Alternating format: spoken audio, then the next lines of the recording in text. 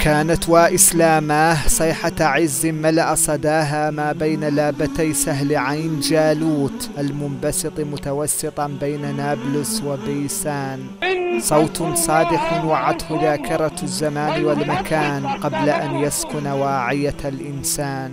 أما مصدر الصوت فكان بقية ملك مضاع لم يحافظ عليه أصحابه فوجد الماردة تري بانتظاره فطواه في أملاك دولته الوحشية بين قسوة القوة وقوة القسوة. على بعد ما بين اجتياح دولة خوارزم وسقوط بغداد كان القدر يعد بقية ذلك الملك الخوارزمي المؤثل للأخذ بالثأر بعدما اتسعت مساحة الفداحة تبعا لنطاق جرائم الوحشية التتارية التي أصبحت مواجهة خطرها قضية رأي إنساني عام وعنوان مرحلية إسلامية عريضة بعد استباحة عاصمة الخلافة. وهنا أخذ راية المبادرة باليمين سلطان مصر المظفر سيف الدين قطز.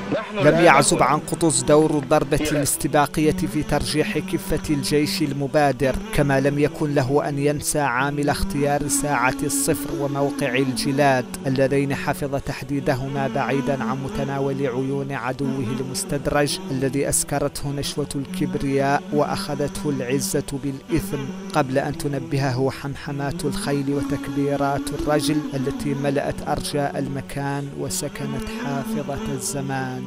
وبينما كانت أصداء ضربة عين جالوت تفعل فعلها في إمبراطورية الخاقان جنكيز خان كان القدر ينسج لبطل المعركة قطز نهاية درامية دامية مفصلة على مقاس قاس فودع حلبة الحياة ولما يتصفح وارد بريد التهنئة الرسمي ويطأ بساط الاستقبال البروتوكولي الأحمر بالقاهرة. شأنه شأن بطل عظيم يصنع النصر ولا يتسول التصفيق.